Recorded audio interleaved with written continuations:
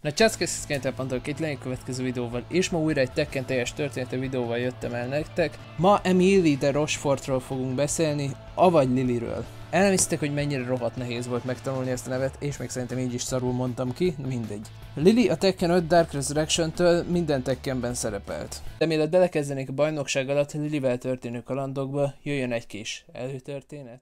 Lily egy nagyon gazdag házaspár egyetlen lánya, emiatt nagyon elkényeztetett nevelésben részesült. Egyik nap Lilit elrabolták és pénzt kértek a szüleitől az életéért cserében. Miközben fogságban volt, minden erejével próbált kiszabadulni, és sikeresen le is győzte az egyik elrablóját. Ez Diliben egy konfliktus iránti vágyat hozott ki. Miután ki lett szabadítva, tovább szeretett volna harcolni. Az apjának nem tetszett ez az érdeklődési kör, mivel ő egy jó szívű ember volt, aki utálta a konfliktusokat. Lily bármennyire is szereti az apját, túl nagy a harc iránti vágya, így mindig, amikor a szülei vakáción voltak, elszökött otthonról és utcai harci bajnokságokon vett részt. Egyszer egy embert legyőzött San Franciscóba, majd kapott tőle egy meghívást a King of Iron Fist 5. bajnokságára. Lily rájött, hogy a Mishimazai bácsú rendezi a bajnokságokat, akik az apjának a legnagyobb ellenfelei. Végre úgy érezte, hogy segíthet az apjának azzal, amit szeret csinálni, és benevezett a bajnokságra, mert véget akart vetni a Mishimazai bácsónak. Lily miután megérkezett a bajnokságra, egy vele egyidős lány volt az első ellenfele. Asuka Kazama. Kiegyensúlyozott harc volt, viszont Asuka végül legyőzte Lilit. Emiatt Lili elvesztette a bajnokságot és az esélyt, hogy segítsen az apja cégének. Ezek mellett utált veszteni, ezért minden áron akart egy visszavágót Asuka ellen. Viszont erre nem került sor egyből, mivel a szülei megtudták, hogy mit csinál a lányuk, mikor ők nincsenek otthon, így szabafogságba tették őt. Szabafogsága közben az apja olajmezőjét a Mishimezai bácsú elfoglalta, így az apja túl kellett, hogy dolgozza magát, hogy a céget valahogy fenntartsa. Lili nagyon aggódott az apja épségéért, így eltervezte, hogy elszökik otthonról, hogy visszafoglalja a területet. Viszont ilyenkor ki lett jelentve a hatodik bajnokság, ami Lilinek egy jobb ötletet adott, hogy mindent helyrehozzon, így elment és benevezett a bajnokságra. Az apjának az egyik hajóját saját tervezésű jaktá alakította, és elindult megkeresni Csinkazamát. Egy Queen's Harbor nevű helyen találkozik Lars Alexandersonnal és Alisa Boskonovicsal. Bármennyire is ők csak beszélni akarnak Lilivel, Lili nem ad más opciót, mint hogy megküzdjenek vele. Viszont ez a harc is kudarcban végződött Lilinek, így már hajlandó volt beszélgetni Lárszékkal.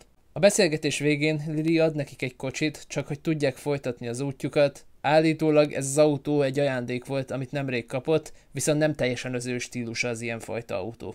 Ez a például amúgy azt is megmondta Larsnak, hogy kinyírja őt, ha nem akadályozza meg Jane Kazamát, de ez már mellékes info. Lily visszamegy Monakóba szomorúan, hogy nem találkozott újra a szukával. A szülei ezúttal nem tudták meg, hogy megint harcolni volt, így büntetés nélkül folytatta az életét, egészen addig, amíg a hetedik bajnokság ki nem lett jelentve. Lili már minden nap arról álmodott, hogy megkapja a visszavágót Asuka ellen, így be is nevezett, és még nem is bízta a véletlenre, mivel még magával együtt Asukát is benevezte a bajnokságra. Majd egy telefonbeszélgetésben elmondta neki, és mielőtt Asuka visszaszólt volna, Lili letette a telefont. Asuka valóban megjelent a bajnokságon, és egyből egymásnak támadta két lány. Mint ahogy azok a történetében is mondtam, nem tudjuk ki nyerte a harcot, viszont az biztos, hogy a harc végén Lili felfedte, hogy megvette Asuka apjának a dojóját, hogy megtanulhasson egy új harcstílust, és be is költözik hozzájuk, hogy még jobban irritálja Asukát. Ezek mellett a közönségnek elmondta, hogy Asuka a Mishimazai becsú vezetőjének Jin Kazamának a rokona. Ja, és ezek mellett a Tekken 7-ben még van egy annyi szerepe, hogy a Elizának, ugye az alvászavaros vámpírnak a karakter sztoriában benne van Lili, amit nem tudok, hogy mennyire canon, meg mennyire nem. Nagyjából az történik Eliza sztoriában, hogy Claudioval megküzd, ugye mert Claudio az egy ördögűző, és lényeg az, miután Eliza megnyeri a harcot, utána Lili megjelenik, és azt állítja, hogy ők, a te, ők testvérek Elizával, de aztán Eliza elkezdi mondani, hogy nem testvérek, mert ő ezer éves, meg mit tudom én, és elkezdi magyarázni, hogy Lili családjával mi konkrétan a összefüggése, Viszont mindig, amikor a lényegre rátérne, akkor elalszik hirtelen. És úgy van vége a sztorinak, hogy Lili megmondja neki, hogy inkább kávét kéne innod vér helyett.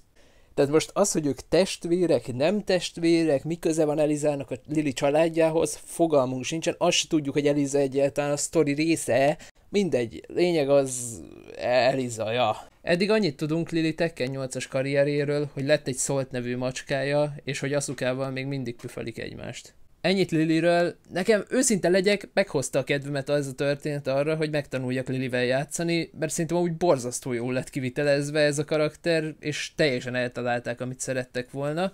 Nagyon várom, hogy egy Tekken 8-ban mit hoznak ki belőle és Asukából, de ezt majd meglátjuk, ez majd a jövő zenéje. Köszönöm, hogy megnéztétek. Tetszett, akkor lájkom, akkor is like. Ne felejtsd el feliratkozni, és találkozunk legközelebb is. Sziasztok!